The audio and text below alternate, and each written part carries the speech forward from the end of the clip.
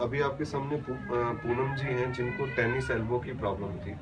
और हम लोगों ने ट्रीटमेंट दिया है। अभी पूनम जी बताएँगी कि उनके अंदर कितना फ़र्क है। जी मुझे पहले से तो बहुत ज़्यादा फ़र्क है। बहुत खुश हूँ मैं। मैं इतना परेशान थी कि मुझे कहीं मुझे लग रहा था कि अब ठीक नहीं होगा। लेकिन डॉक्टर साहब से मिल के इनसे इनके ट्रीटमेंट से मुझे काफ़ी आराम टेनिस एल्बो में क्या क्या प्रॉब्लम क्रिएट होती थी आपको? मतलब हाथ मेरा ऊपर नहीं होता था। कॉम नहीं कर सकती थी। मैं कोई ग्रिप नहीं थी किसी चीज़ की। तो काफ़ी बेटर है।